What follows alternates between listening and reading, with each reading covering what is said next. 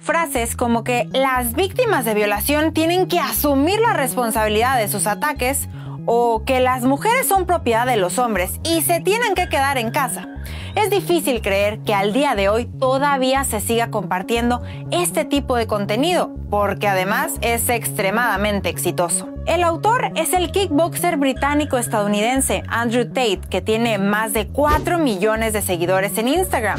Sus videos en TikTok tienen más de 10 mil millones de visualizaciones. ¿Qué es lo que pasa con TikTok y otras plataformas que dejan compartir este contenido? ¿Y qué se puede hacer cuando se encuentren publicaciones como estas? Este hombre ha sido calificado como el más odiado de la red y también como la persona más peligrosa en lo que respecta a los derechos de las mujeres en Internet. Andrew Tate es un kickboxer británico-estadounidense convertido en influencer.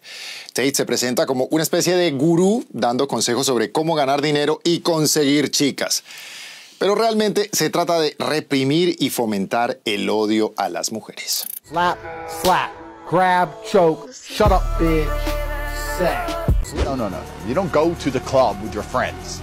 I don't know what kind of bitch ass dude is letting his chicks go to the club with her friends loud. No. You stay in the house. You don't go nowhere. I think my sister is my her husband's property, yes. When a bride is walking down the aisle to marry the groom, the father walks next to her and gives her away. Podríamos seguir horas. Tate es uno de los misóginos con más éxito en las redes sociales, pero claramente no es el único. En México, los llamados hermanos Pancardo promueven el machismo y dan consejos sobre cómo manipular a las mujeres. Y tiene más de 7 millones de seguidores en TikTok, ¿no? Pues ¿por qué la dejan? Porque la pareja ya no se arregla, se dejó, se tiró al basurero. Si tú eres una mujer embarazada o has estado embarazada, nunca te tires al basurero, levántate, ponte guapa. Si un hombre te dice, te portas bien, ¿Significa qué? Significa que no confía ni madres en ti y que cree que te vas a ir por ahí de zorra o de algo, así que tienes que darle más confianza a este hombre. En Pakistán, Syed Ali Haider es un famoso periodista y presentador. En su canal de YouTube, critica a las hijas que quieren hablar con sus padres sobre la menstruación. मैं अपने बाप के सामने periods की बात करूंगी ये ये इनके ये चाह आज़ादी क्या चाहती ये चाहती है ना कि जी, हम तो खुलेआम पीरियड्स की बात करें। हम ऐसे लहला लहरा के दिखाएँ कि ये देखें जनाब, वो दिन आ चुके हैं, महीने का वो टाइम आ चुका है।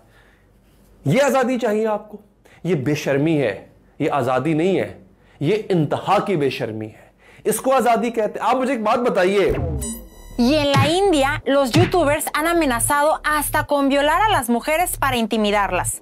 Un informe del Media Diversity Institute afirma que en los últimos años se ha desarrollado una subcultura de Internet de odio a las mujeres.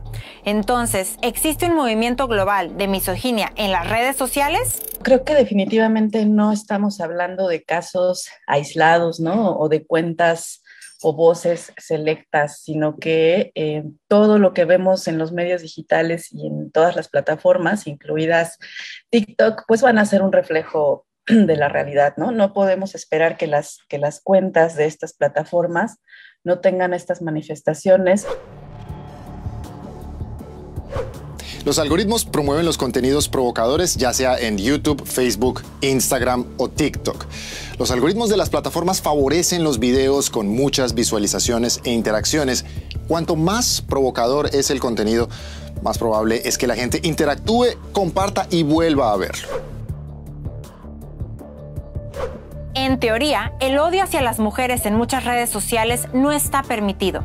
TikTok, por ejemplo, le dice a su comunidad explícitamente que quitarán contenido que promueva cualquier ideología de odio o misoginia.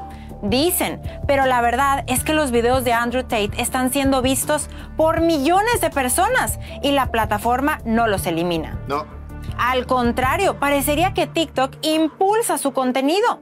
De acuerdo con reportes de prensa, además, él le ha pedido a sus seguidores que creen cuentas para compartir sus videos. Los expertos dicen que es un intento de manipular el algoritmo para impulsar su contenido. Entonces, ¿no hay ninguna plataforma que controle este contenido? Pues Twitter parece ser la única que lo ha eliminado, pero sus seguidores como quiera siguen compartiendo sus videos en sus cuentas personales. En el caso de los youtubers de la India, A los que amenazaron a las mujeres con violarlas. sí, sus cuentas ya han sido suspendidas.